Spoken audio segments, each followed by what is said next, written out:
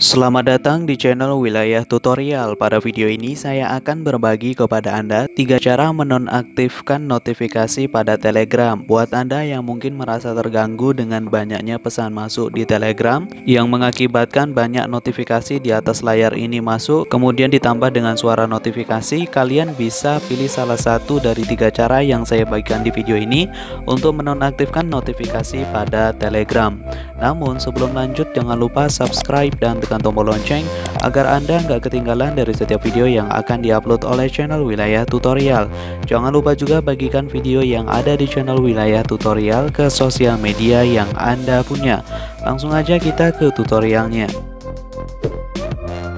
Cara yang pertama langsung aja kita buka pada telegramnya Kemudian untuk cara yang pertama pilih salah satu kontak yang ada di telegram Baik dari chat pribadi maupun channel ataupun grup Saya contohkan di sini adalah kontak pribadi yang bernama Adam Sabri Oke, misalkan di sini dia nyepam ya, di situ banyak memberikan uh, pesan masuk, maka kita bisa membisukan terlebih dahulu atau menonaktifkan notifikasinya.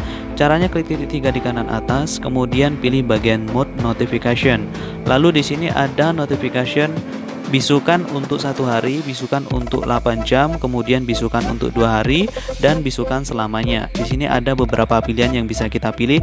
Misalkan saya pilih satu hari, maka nanti setelah satu hari lewat, maka notifikasi ini akan muncul kembali. Jadi hanya dibisukan secara sementara. Dan kemudian kita beralih ke cara yang berikutnya.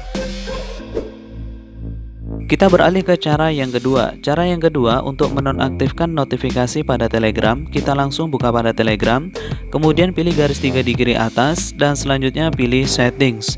Di bagian settings ini ada notification and sounds. Kita klik dan di sini ada private and chats, kemudian group, channel. Di sini adalah beberapa notifikasi yang muncul. Nah, di sini kita bisa menonaktifkan semua. Seperti ini, kita pilih OK. Kemudian di sini nggak akan ada lagi di situ notifikasi masuk pada Telegram kita. Dan kita beralih ke cara yang ketiga. Cara yang ketiga untuk menonaktifkan notifikasi Telegram, kita bisa buka pada pengaturan, kemudian berikutnya silahkan cari yang namanya aplikasi. Jika telah menemukan, langsung aja kita klik untuk aplikasinya, dan berikutnya silahkan cari aplikasi Telegram. Huruf pertamanya T, maka kita cari untuk huruf T ya.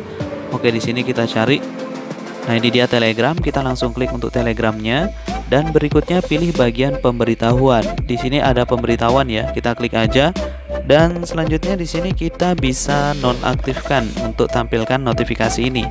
Maka dengan begitu notifikasi Telegram telah dinonaktifkan dan kalian tidak akan mendapatkan notifikasi di atas layar ini maupun suara masuk dari Telegram. Oke, itulah tadi tiga cara menonaktifkan notifikasi Telegram. Semoga bermanfaat. Sekian dan terima kasih.